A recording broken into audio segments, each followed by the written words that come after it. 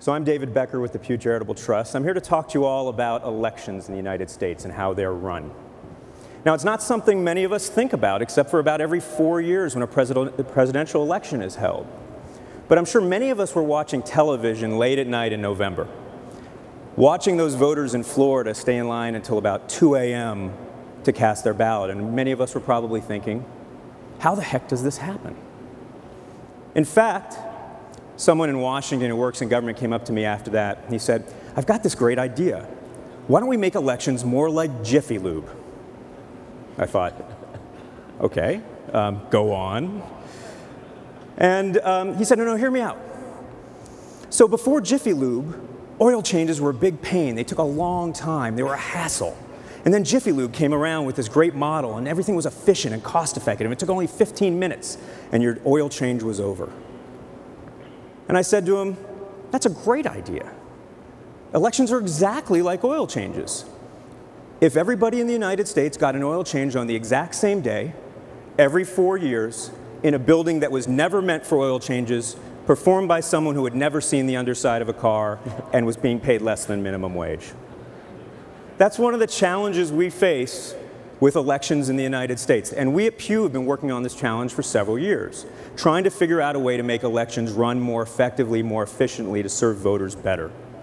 And in our research, we discovered one of the single biggest problems in election administration are the voter lists.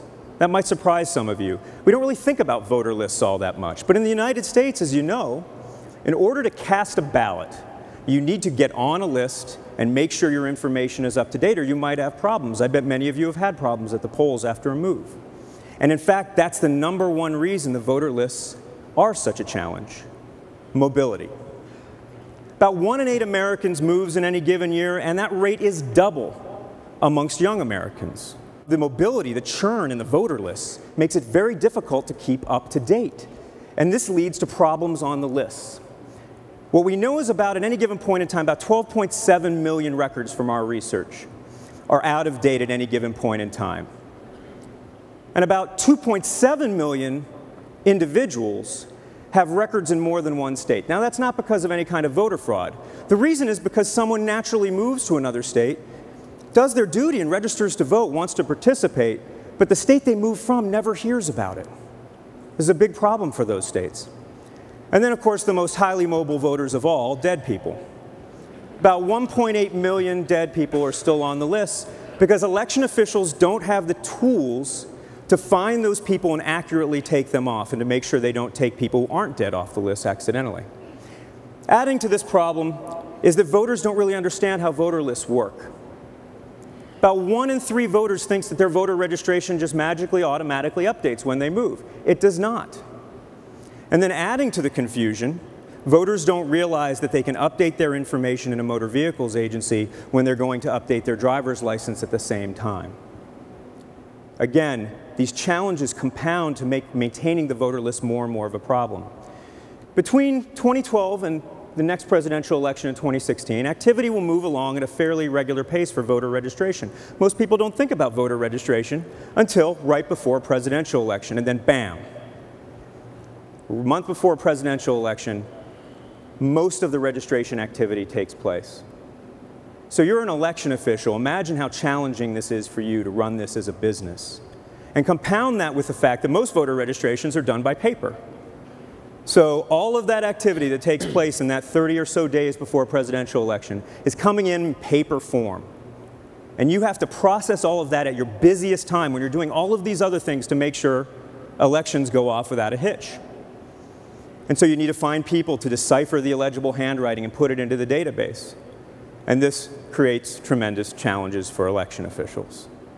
The result is a system that's not particularly efficient and doesn't do really what we need it to do. This is a good example.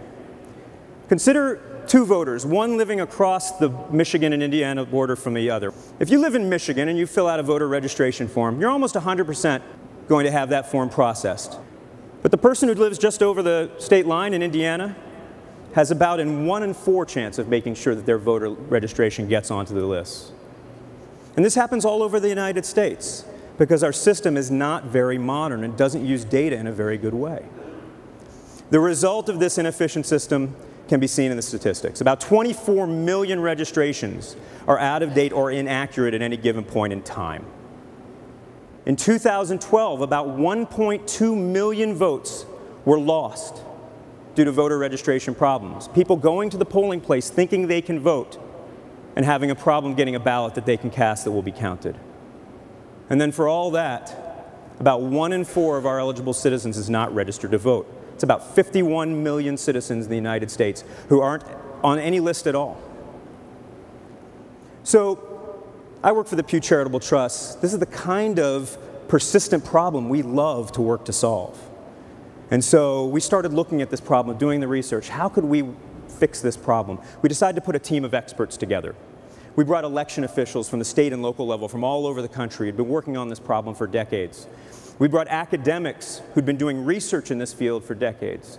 But we thought about it and we realized this might not be just a policy problem. It might also be a technology problem. And so we needed to find someone who could help walk us through some of the technology that might help us solve this problem. So I'd heard about this guy, Jeff Jonas, from IBM. Jeff came into this group and provided the spark that ultimately led to the solution that we implemented. Jeff's going to tell you about that right now. well, let me tell about my side of the story. I get this call that says, how would you like to come uh, be part of a working group and be involved in a report? Oh, the joy. So I, am going to these meetings. I'm with all these, um, uh, these, this, these people that he's gathered together, and I'm hearing the same story I hear with lots of organizations. Each organization is having difficulty making sense of their own data. They're having difficulty figuring out how it relates to other data in the ecosystem, in this case, the other states. And to me, it's about making higher quality predictions. They, they just needed more context. Well, you know, just to be clear, when I say context, what do I mean? I mean to better understand something by taking into account the things around it. When you see the word bat in a sentence, you look at the words around it to know what kind of bat it is. But when it comes to this particular problem that I was hearing about, you have these two individuals. This individual is moved. The names are similar. The date of births are the same. Nothing else is similar. Well, you can't just record match these and figure out it's the same person. But luckily, states have access to DMV data. So in this case, the Maryland DMV record has the same name, address, date of birth, and driver's license, and therefore you can assert it's the same. And in Maryland, you've learned the social security number for the voter. And the same goes with Virginia. Here, the name, address, date of birth, and driver's license are the same, and here you learn a social. Now, both sides of this have the same name, date of birth, and social security number, and you can make an assertion this is actually the same person. When you realize that your Maryland voter and the Virginia voter are the same people, you can do something like inform Maryland that their voter may have moved. And in fact, if they hadn't registered in Virginia, then the, th the, prediction that you could make is you should make two recommendations. Tell Maryland the voter may have moved, and at the same time tell Virginia they may have a new, a new voter. And so the technology we've been using for this is G2. I've been working on it for four and a half years. It's only been public uh, publicly known for the last two and a half years. And from a G2 point of view, um, all these data sources are really, it's just about an observation space. It's about your organization's observation space. In the case of elections, it's voters, it's DMV, it's deceased persons. I have many customers that try to keep the dead dead, so you, you load the deceased persons. And in election business, it's important because I think it's only legal in three states for dead people to vote. Okay, I'm rounding up. Um, so from the point of view of an observation space, um, what happens is as data flies into me, it's like puzzle pieces. That's my metaphor. It holds up pretty well. And when that occurs, this is the story of data finds data. And as fast as data finds data, you're figuring out, because you have a more complete picture, what is relevant to who.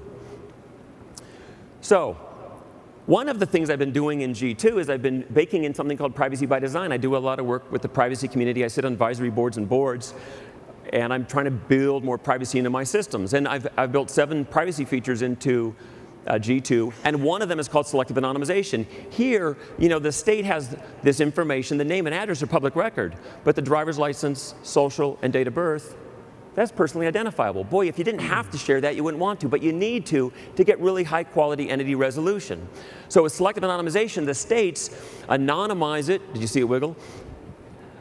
Uh, the states anonymize it, changing the driver's license, social, and date of birth into a form that's not human readable and not mathematically reversible. It's called a one-way hash. We actually hash it and anonymize it before they even send it. And by the way, if you haven't heard of a one-way hash, the Reader's Digest version is as follows. If I took a pig and a grinder and, and made a sausage, if I gave you the grinder and the sausage, could you make a pig? right. That's a one-way hash.